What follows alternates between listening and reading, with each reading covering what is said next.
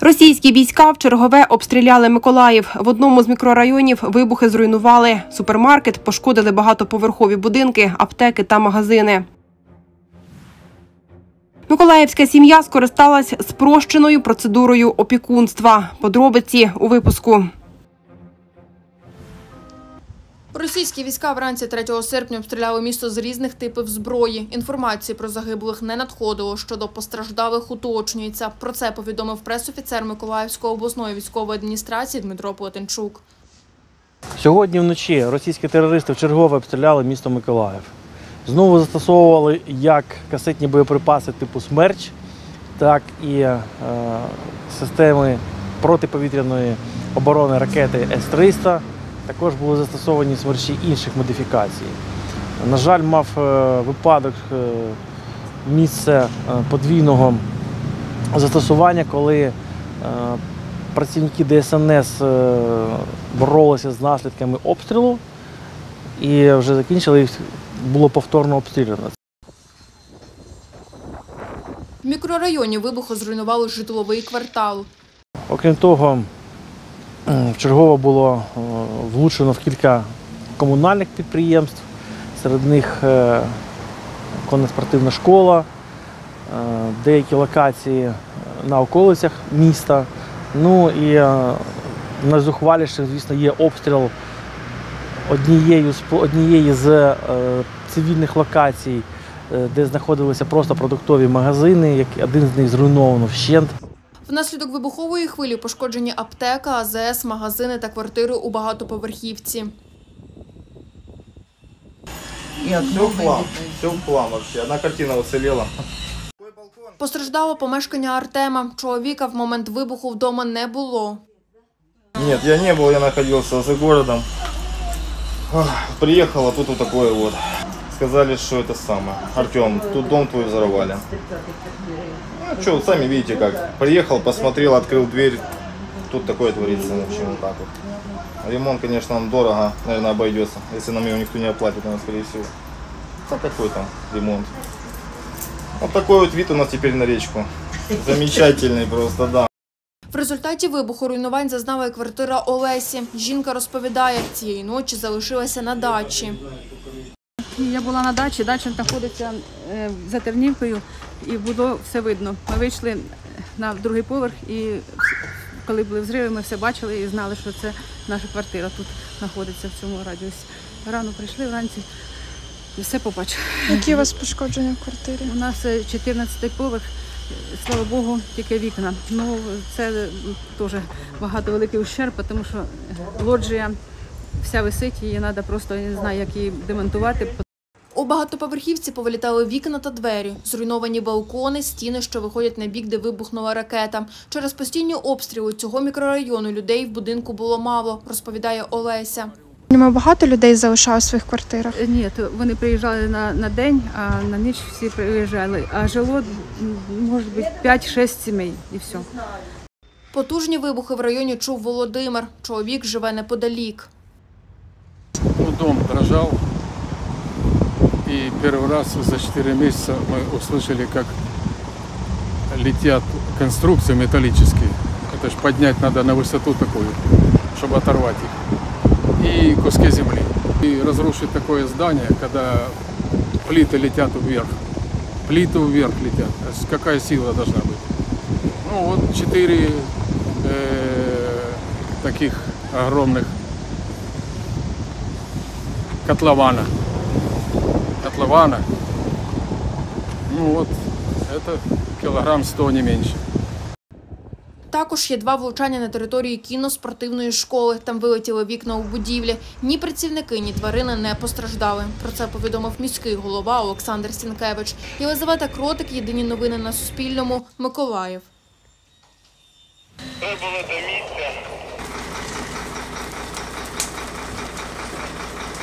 Они с той стороны стояли, там куда грозы промыкают.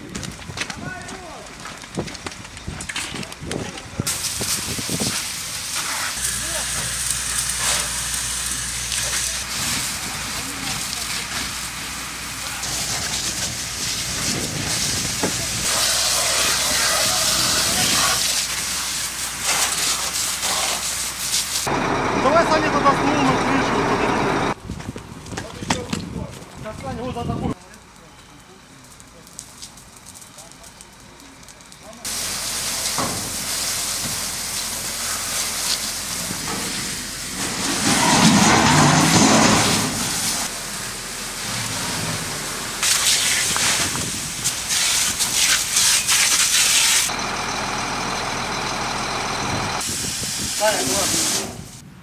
На 90% люди просто допомагають. Якщо там сьогодні була новина офіційна від служби затримано одного конкретного, який саме цю роботу а, виконував, ще два теж ну, під слідством на зараз. Тобто результати є. Це окрім того, що завжди робили правоохоронні органи та спеціальні служби. Тричі атакований за ніч Миколаїв, двічі реактивними системами залпового вогню «Смерч», а перед світанком зенітно-ракетними системами С-300. Внаслідок обстрілів виникли пожежі в гаражному кооперативі та біля елеватора. Вогонь оперативно ліквідовано. Зруйновано супермаркет та пошкоджено багатоповерхові будинки, аптеку, магазини, дорожне полотно, територію кіноспортивної школи. Інформації про постраждалих немає. Також з РСЗВ «Град» ввечері обстріляно село Петрівське, де постраждали двоє людей. По Орловому та Великій Костромці на Херсонщині і по Очакову на Миколаївщині ворог ударив з важкої ствольної артилерії. В Костромці зацепило дитячий садочок та церкву. Пошкоджена лінія електропередач. В Очакові уражена підстанцію, частина міста без електрики. Люди не постраждали. Решта подробиць уточнюється. У вівторок, 2 серпня та в середу, 3 серпня, російські військові обстрілювали Миколаїв. Є зруйновані будівлі, зокрема продовольчого супермаркету, пошкоджені багатоповерхівки, аптеки, портова інфраструктура та інше. Інформація щодо постраждалих уточнюється. Про це повідомляє голова обласної ради Ганна Замазєєва. За минулу добу травмувалась одна людина. Станом на сьогоднішній ранок в миколаївських лікарнях перебуває 318 містян. Ще 41 людина отримала допомогу амбулаторно. За чергову добу на території Миколаївської області зареєстровано вісім пожеж, шість з яких виникли через ворожі обстріли. Про це повідомляє прес-служба надзвичайників. Через потрапляння боєприпасів та їх уламків внаслідок бойових дій зафіксовано п'ять пожеж сухої трави, чагарників та сміття на відкритих територіях міста Миколаєва, Миколаївського і Баштанського районів області. Загальна площа, яку пройшов вогонь, склала понад 1,5 гектарів. Постраждалих та травмованих немає. Ще одна пожежа внаслідок ворожих обстрілів виникла ввечері у місті Миколаєві. Зайнялися гаражі в одному із автокооперативів Інгульського району, внаслідок чого знищено шість гаражів та два автомобілі. Для підвозу води залучалась водовозка аварійно-рятувального загону спеціального призначення. На місці також працювала аварійна бригада акціонерного товариства Миколаїв Обленерго. Також в області виникло дві пожежі з інших причин. Втрати російських військ станом на 3 серпня. Особовий склад близько 41 350 осіб. Танки 1774 одиниці. Бойові броньовані машини 4022 одиниці. 939 артилерійських систем, 259 реактивних систем залпового вогню, 118 засобів протиповітряної оборони, 223 літаки, 740 безпілотних літальних апаратів, 191 гелікоптер, автомобільна техніка та автоцистерни 2922 одиниці, спеціальна техніка 83 одиниці, 15 кораблів та катерів. Збито 180 крилатих ракет. Слава ЗСУ. Церемонія прощання із героєм України, генеральним директором компанії Нібулон Олексієм Вадатурським та його дружиною Раїсою Вадатурською відбудеться у п'ятницю 5 серпня. Через постійні обстріли Миколаєва прощання проходитиме в Києві у Володимирському кафедральному соборі з 13.30 до 16.00. Нагадаємо, що начальник Миколаївської обласної військової адміністрації Віталій Кім припустив, що влучання російської ракети в будинок Олексія Вадатурського було випадковістю. На мій погляд, це ракета С-300, вона недостатньо точна. І е, після на- наступного дня, після того як е, загинув Олексій Гнатович Водотурський, в те ж місто рядом прилетіло ще дві ракети в берег. Тобто я гадаю, що це якась планова мішень, яка була в росіян, можливо, то через те, що це колишня територія військової частини. Низький рівень конкуренції, перше, і другий відсутність от ринкових механізмів, неефективність ринкових механізмів державного регулювання в Україні. Бо ринок, ринок, нормальний ринок, прозорий, розвинений, західний, це не є Махновщина. Там не може піднятися ціна бензину в 2-3 рази, коли нафта зменшується ціни. Бо тоді все одно тут же починається антимонопольне розслідування і так далі. І тому ці великі оператори ринку вони цього не роблять. І великі продавці так само вони починають здійснювати тренди, коли для зменшення ціни. І відповідно на них на них вже рівняються маленькі, якби продавці. Тут проблема в тому, що грошова одиниця у нас традиційно не є засобом зберігання грошей. І відповідно весь малий і середній бізнес він не вкладає, не зберігає гроші, якби не в готівки в гривні, ні в банківській системі в гривні. І відповідно у нас якби ми вона використовується тільки як розмінна монета для бізнесу.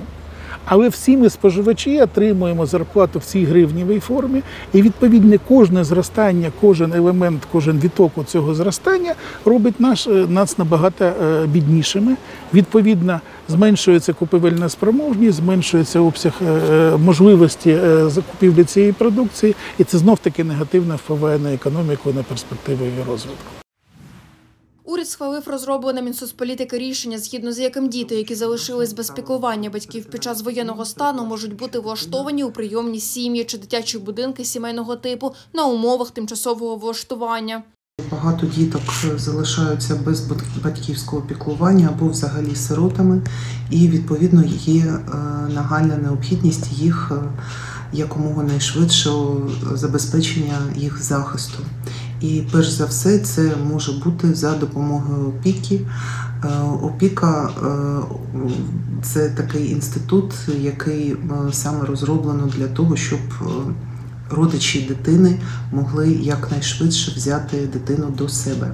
Також рішення уряду спрощує процедуру влаштування дітей-сиріт, дітей, позбавлених батьківського піклування, під опіку або піклування родичів. Відповідно, трохи спрощено процедуру для можливості забезпечення діткам, які залишились без батьківського піклування, батьки, яких е, тимчасово зникли, е, їх не можуть знайти ніяк, і немає документів, які підтверджують, наприклад, е, не дай Боже, смерть батьків. І для таких випадків розроблена певна процедура. Для того, аби родичам дитини взяти її під опіку, необхідно подати документи за переліком. Довідки від нарколога та психіатра та про наявність або відсутність судимості залишаються обов'язковими. Під час дії на території України надзвичайного або воєнного стану особа, яка перебуває у сімейних родинних відносинах, в тому числі хрещені батьки з дитиною-сиротою або дитиною позбавленою батьківського піклування, і виявили бажання взяти її під опіку або піклування, ці люди подають до служби у справах дітей за місцем свого проживання такі документи, а саме заяву, копію паспорта громадянина України, документи, що підтверджують сімейні родинні зв'язки з особою, тобто це відповідні або свідоцтво про шлюб, або свідоцтво про народження, які підтверджують, що є спільні родичі. Процедура усиновлення дитини чужими людьми складніша. Для того, аби взяти дитину до родини, необхідно пройти декілька інстанцій, розповідає Валентина Ткаченко. Вообще во время войны были закрыты все реестры, и многие на сейчас закрыты и не открыты, пока не, не закончится война, потому что не собираются комиссии, да, вживую, то есть люди не могут прочитать протоколы решений и проголосовать. Во-вторых, курсы. Нужно вести обязательный курс психологов, которые с вами работают и в законодательном порядке, психологическом. Они же расфункционально вам все раскладывают, а это идет минимум три месяца, это через день по 8, по 7 часов а, в военном действии, где ты да, соберешь в одном ну, как помещении, и через день сможешь стопроцентно сказать, что вы сможете, да, это все работать. Многие повыезжали из городов онлайн, это не то. Валентина багатодітна мати. До війни вона усиновила одну дитину. Під час воєнного стану взяла до родини ще трьох діток. Война внесла свои коррективы. Где-то хочу сказать, что даже в плюс, ну, как это не, стра... не страшно, как говорится, говорить, лишь только потому, что э, мы планировали одного взять ребенка до войны, а получилось так, что мы забрали троих. Валентина розповідає, вдалося забрати дітей до родини під час воєнних дій тільки тому, що всі відповідні процедури пройшла до повномасштабного вторгнення. Мы готовились к одному и, получается, до войны прошли эти все курсы и сдали все документы. Это наш очень большой плюс был лишь только потому, что если бы, может быть, этого не было, мы бы уже не смогли забрать детей. То есть мы должны были 26 февраля забирать уже своего ребенка к себе. То есть мы уже прошли все, то есть оставался вот этот протокол, который бы нам официально дал решение, да, что мы являемся официальными опекунами. Так Валентина з чоловіком забрала до родини двох хлопчиків та дівчинку з різних сімей. Зараз усі вони проживають за кордоном. Єлизавета Кротик, єдині новини на Суспільному, Миколаїв.